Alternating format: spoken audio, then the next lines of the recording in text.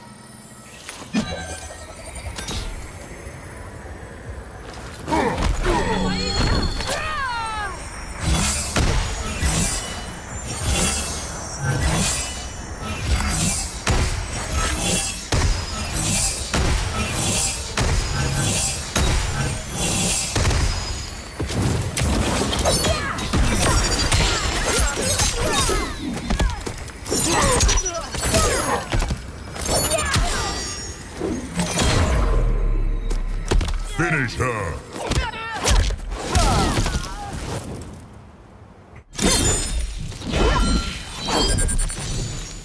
Kitana wins.